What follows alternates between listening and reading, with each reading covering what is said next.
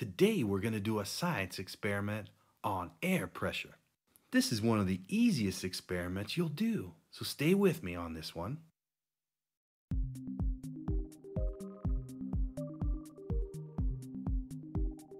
All we need are a few items that we can find around the house.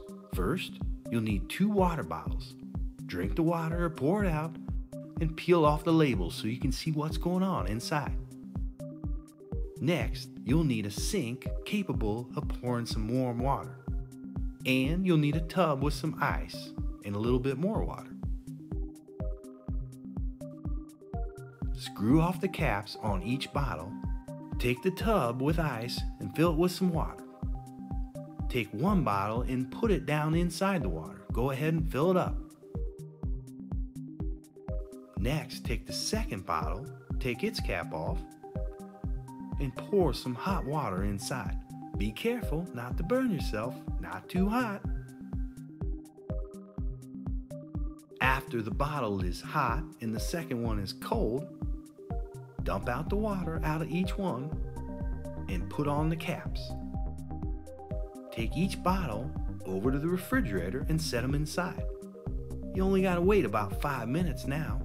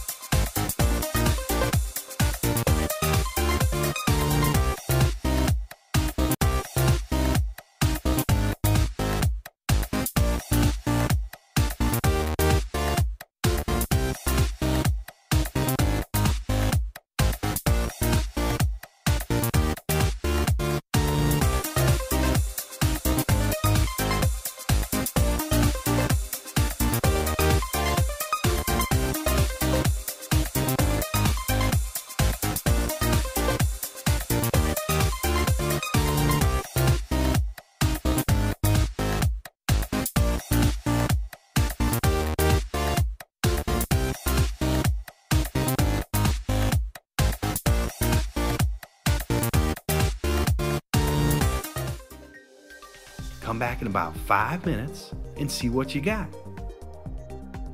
Whoa, that's interesting. One bottle looks smashed, the other one looks pretty normal. What happened? Well, you see, the one with the cold water looks about the same. It had cold air inside, and we put it inside a refrigerator that was also pretty cold, so it didn't change much. The other bottle was warm air. We put it inside a cold refrigerator, and it made it smashed. So what happened? You see, air has molecules. Warm air has less molecules than cold air. When we sealed those caps on those bottles, we trapped the number of molecules inside each one.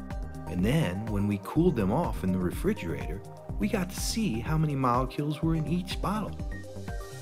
The warm air bottle had less molecules than the cold bottle. Then it crushed itself up. That's all we have today. Thanks for joining us. Check back later, like us, and tell us in our comments if you like this video and we'll make some more. See you later.